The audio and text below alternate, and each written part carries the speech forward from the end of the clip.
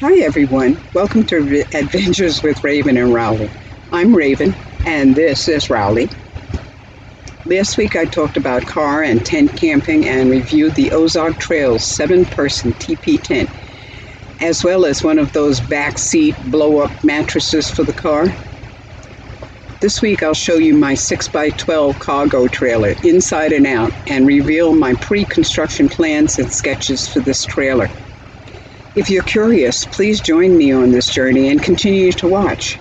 Comments and suggestions, especially suggestions, would be appreciated too.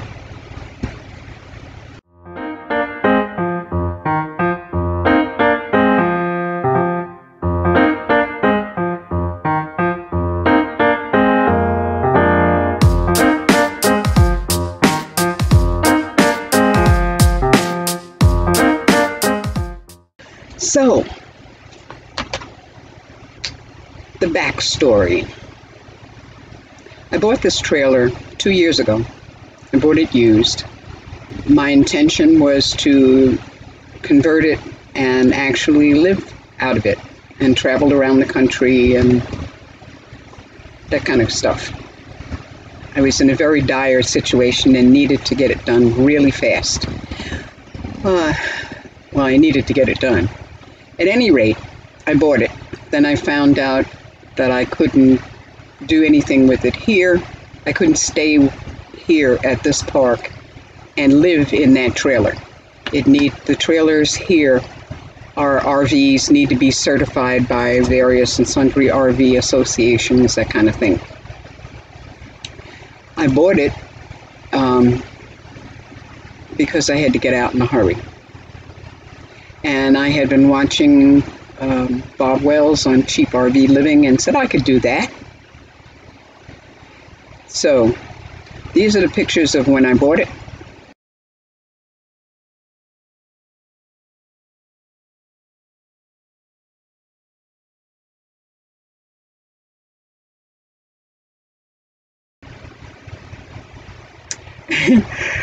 very nice and clean and smart looking trailer, a 6x12 cargo trailer, enclosed cargo trailer with barn doors. And this is what it looks like now. Okay. This is my, um, hmm, this is my cargo trailer. The car that's in front is renting half of my allotted space. They're for a couple from Hungary and they should be back by the end of September to get their car. Right now, I'm going to go in there and show you my trailer. This is my cargo trailer up close. Let me take you a tour around the outside. This has, I bought this used, but it has a lock on it to have to get a locksmith to take that off because I don't have a key. Whoever had this put in electric units on the outside so you could plug in. Where is the cord? Oops.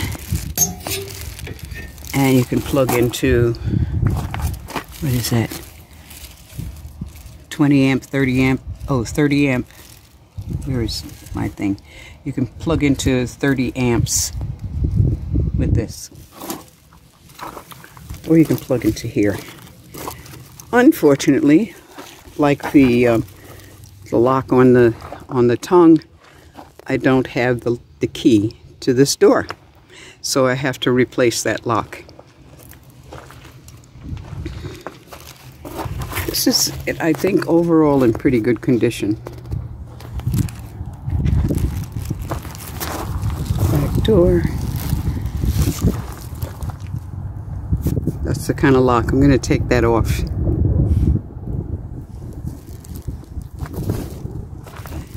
And around the other side, just a regular, ordinary, everyday 6x12 cargo trailer. So it needs some work. As you can tell, I've been using this for storage.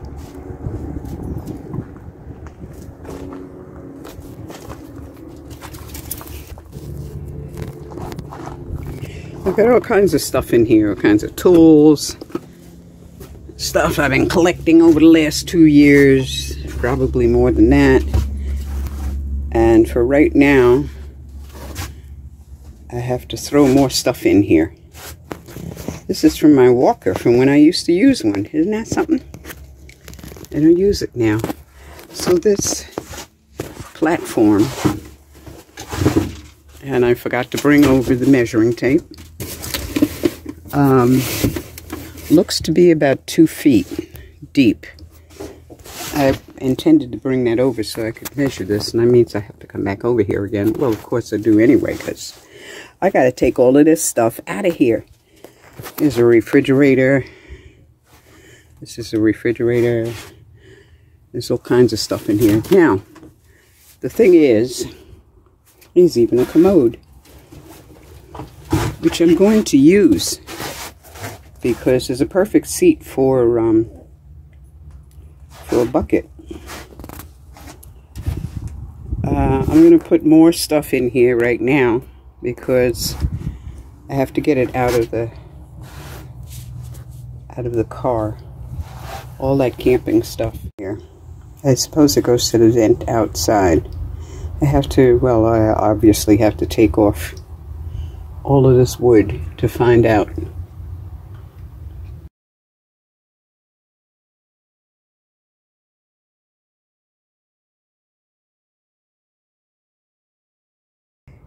Okay, inside the front door is a light switch that works off of that plug right next to the tire that I'm going to put out on the front. There's another light switch over here near the door. And there's a socket up there. Those are the only inputs for electricity in here.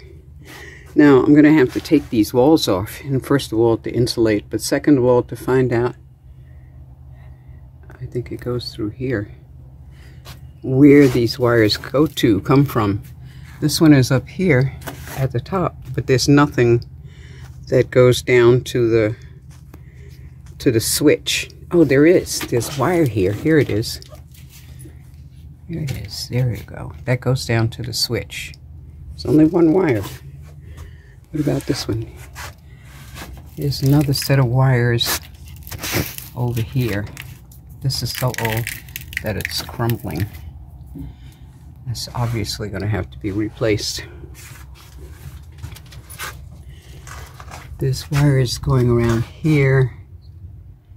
It's probably to the lamps on the outside, you know. The brake lights and that kind of stuff. This is up, up here at the top. This is all um, let me turn around this side. This is all square brackets. I don't know what kind of studs, or whatever you call these things, ribs, there are further down. I don't know if they're square like these are or not, or if they're channel brackets or what.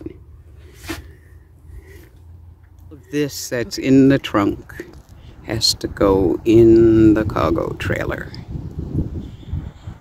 And when it gets warm, I'll come in and refix this and paint pictures on the side of it.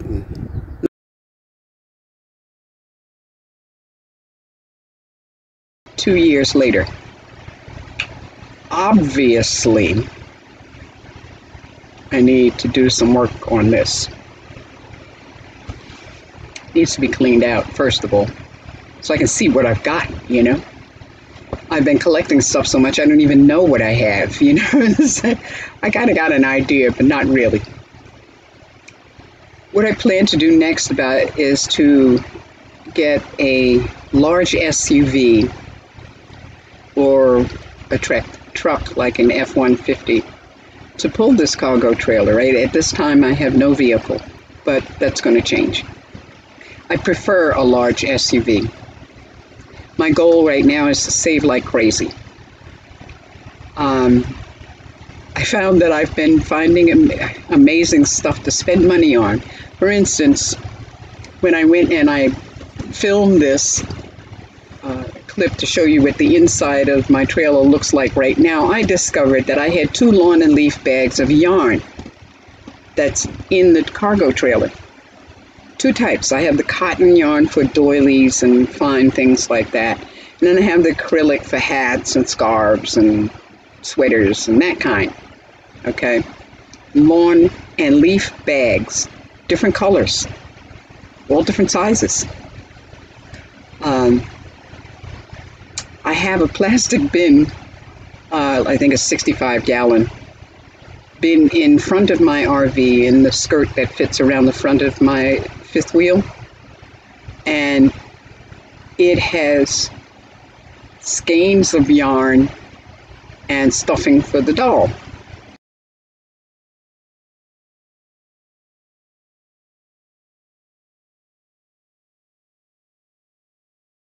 Then I looked in the house and I realized inside here, right now, right behind my computer, is a shopping bag full, with at least skeins, six skeins of yarn.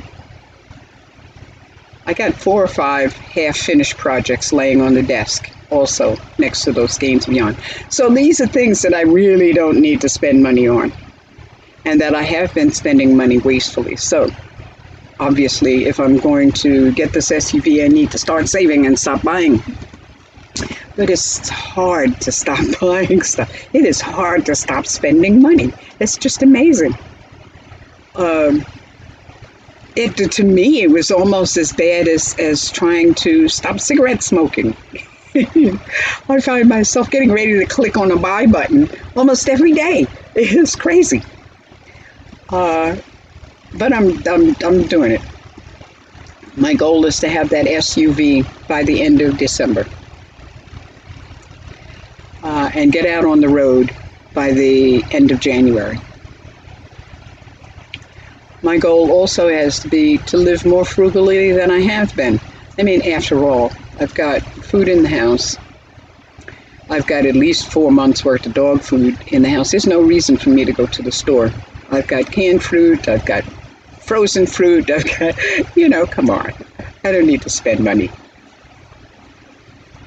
Just learn to live a little bit less than not not even less. I can't see that I would be depriving myself of anything. I'm thinking that I would buy an older used SUV uh, in great working condition, or as close as I can get it anyway, to great working condition. I think I prefer a large SUV over a Ford 150, let's say, just because of the getting in, in and out of the thing. Um, I'm 70 years old this 70, 78 years old this month. I have to consider things like climbing in and out of trucks. you know, I don't know. When I plan to get on the road for long distance trips in a short amount of time, I figured that uh, come January, I would take the trailer, clean it out, obviously, take the trailer and use what I have for my tenting supplies and what plastic furniture, like this thing over here, this thing, uh, plastic dresser. I can use those inside until I've been traveling for a while, maybe a month, to see exactly what I want in that trailer before I start customizing it. Now, I know I should be insulating and all of that kind of stuff, but I'm on a budget. Things have to be done little bit by little bit, you know. So, it'll get done though. I'm not sure, but I'd like to attend the uh, in Quartzsite, Arizona this coming February but I'm not sure because, believe it or not, there's an extremely high crime rate in Quartzsite, Arizona during that time. Uh, the crime rate is up to like 96%. That means that 96% of the cities in the United States have less crime than Quartzsite, Arizona. It's probably due to the 100,000 RVs that show up there that you know it's like a little city and that's where opportunists congregate it's just and it's also way too many people I've never been crazy about large crowds. Now, mind you, I was born in New York City. You'd think I'd be used to that kind of stuff, but it's not really the case. I had moved out of New York oh, when I was like 45, so half my life ago. And there was once when I went back, probably 20 years ago, when I went back to New York City to see my mother. and I got out of the train at Penn Station and had to cross the street. And I stood on that corner and watched three changes of the lights before I could actually walk, step out onto the into the crosswalk and cross that street. Every time the light changed, there was this wall of people coming towards me, and I got petrified. it was amazing. Uh, until I finally talked myself in, look, you have to cross the street. Otherwise, you're going to be here forever, you know? I figure after I take uh, a long trip and I can start working on the trailer itself because by then I'll know exactly what I want where, or hopefully anyway. I'll take the trailer out on um, weekends. Well, not really, on weekends. I mean, what I consider weekends would be uh, Tuesday to Thursday. That's when most people are not out and trying to get a little bit of country air, you know and as I convert it to see how things work. I can't do construction here in this park, but right outside the gate is BLM land. You know, so I could just pull out 100 feet and do what I'm going to do and then come back in. But of course, I have to have an SUV first. I plan to ride around with the plastic furniture, as I said, so that I really sort of know exactly what I want to do inside. It's kind of funny in a strange way, but I've been collecting odds and ends of plastic furniture. Now, I really don't like plastic furniture, but I needed to function really fast, and you know, I didn't want to go to Goodwill and get something wood that I don't know. I just I figured I'd wait until I made up my mind about getting whatever wood I was going to put in here, because I'm thinking too that eventually there's a fly in here. uh, eventually, I was going to gut the inside of this thing and make it the way I want it. So, anyway, so I really don't like plastic furniture, but I've got a lot of it. And it will work perfectly in the cargo trailer for the very same reason until I decide what it is that I really want in there and how I want it. So I'm actually pretty much set up to go camping today in that trailer if I had something to pull it. After the construction is final, I'm going to keep the, the RV on the lot for a month or two and go out on short trips um, before I make the decision to put this fifth wheel in storage. Uh, I figured that I would put it in storage for, I don't know, uh, three, four months at a time definitely come back here for the winter because the winters here in southern Nevada are gorgeous and warm. uh, so here are my kind of sort of modified construction plans of what I of what I want the inside to look like.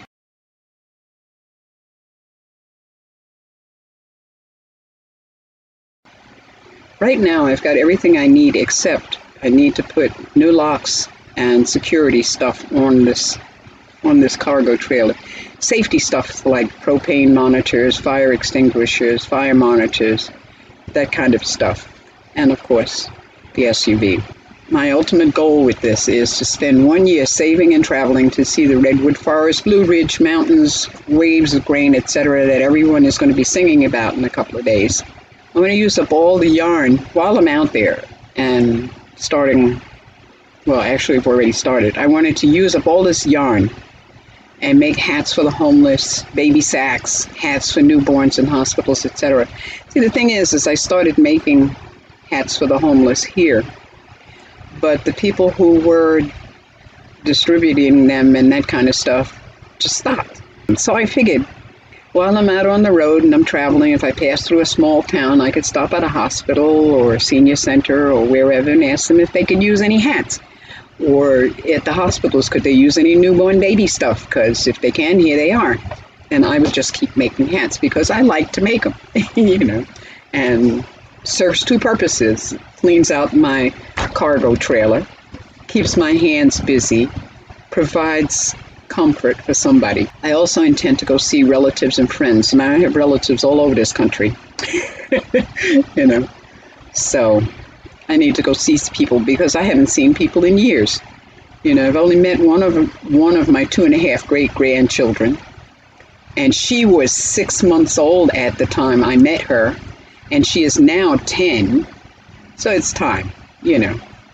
Just this last trip I made, caused me to realize that this place, America, is huge, really, really large. I passed, I didn't pass, I stopped at a gas station that was said, had a sign out there, said last gas for 100 miles. The gas pumps were from the 1960s, were in deplorable condition, but they had gas. that was all I needed to know gas was $4.67 a gallon, and probably because it was the last gas for 100 miles. And it was the last gas for 100 miles. So on that drive, coming into these wonderful vistas of this beautiful country, I realized that I want it all. I want it all. I want to see it all. I want to do it all. Um, and you know, years ago, probably I think in the 80s, might have been before that, somebody made a song about I Want It All. And and I kept saying from then on, you know, yeah, I want to do that. I want to get out. But I never did. You know, I was always it's always the, something, you know. So I didn't go. But I'm going to go. I'm counting on the longevity of my family just to do just that. I, I expect that my last gasp should be around 135 years. Now, okay, you know, I understand. But you don't know where science is going to be in the next five years. So maybe I'll reach it then. Maybe I'll be ready to kick the bucket then. Maybe not. anyway, that's it. So. So thanks for watching and subscribing. And thanks to those who bought us a treat. If you'd like to help us get on the road, please see the links below and use them. Please share my video, please, and subscribe to Adventures with Raven and Rowley. This is really new channel. Uh, it's only been up since April 16th, and I could use your help to reach 1,000 subscribers. Also, like and ring the notification bell if you would. The YouTube algorithm only responds to subscriptions, bell ringing, and the like, so your help is appreciated to get its attention, okay? See you next Friday. Take care of you and yours, and blessed be.